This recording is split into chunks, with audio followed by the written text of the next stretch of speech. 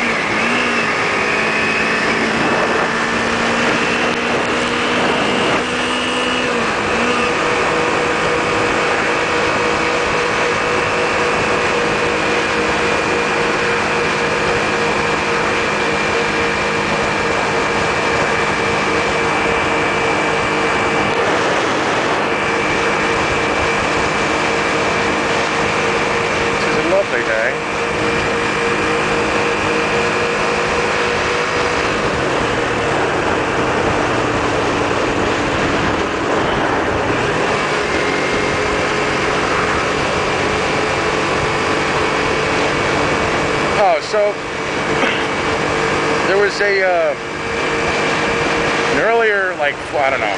I put I tried to put one video up for counter steering and it was like 17 minutes long, so YouTube denied it.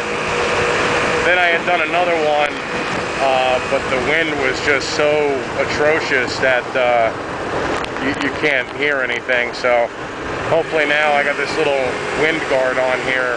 It'll be a little bit better. Um, counter steering is how you lean the bike. Um, you could say that you, you, you, you lean the bike by leaning your body or by, by, by moving your feet. Um, the, the best, simplest, and safest, safest way to lean the bike is by counter steering.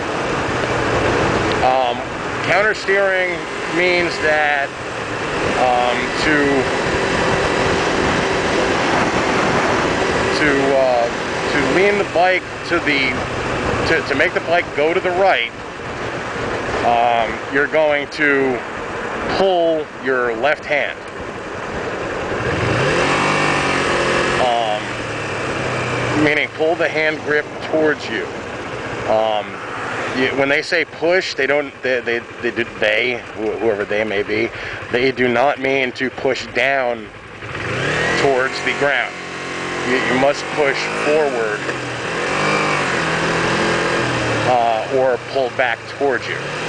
Um, the simplest way to remember counter steering is to pull uh, to go right, push right. To go left, you push left. So I want to make the bike lean to the right. Here's my left hand. I'm going to take my right hand and push forward uh, towards the mirror, and here's the line, and it goes to the right. Now, the counter steering is if I want the bike to go to the left, I pull back on the right hand grip like that. Okay? Um, so if, if you want the, the bike to, yeah, I mean, you could do either way. Uh, it's just easy to remember, you know, the similes uh, to pull right, uh, to go right, push right, to go left, push left. Um, for a 90 degree turn, like I'll make this 90 degree turn here. This, uh, now I'm gonna catch the red light, but what you do is you counter steer going into the turn.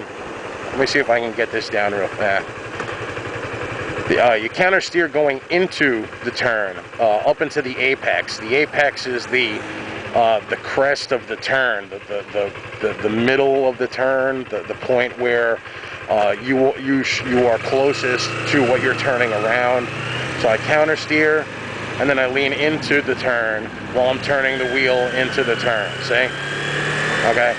So, so I'm going to counter steer. This is a left and then a, right and a left bend. So I'm going to push to the right. I'm going to push towards the front mirror to make the first turn. And like now. And I'm going to push to the left to make this turn. Now I'm also pulling on my right. So I'm pushing here and I'm pulling here.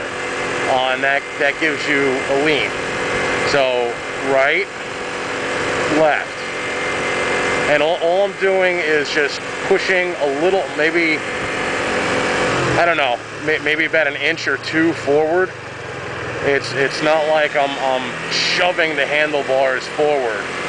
Um, it's uh, it's it's more like just a uh, more like just a gentle push. Um, let me see if I can. Um, it's more like a this kind of a, a thing. So it's like you know, seriously, just like an inch or two, uh, just to make that that weavy swerve back there. Um, if you're trying to make a quicker swerve, if you want to lean uh, more, then you push more.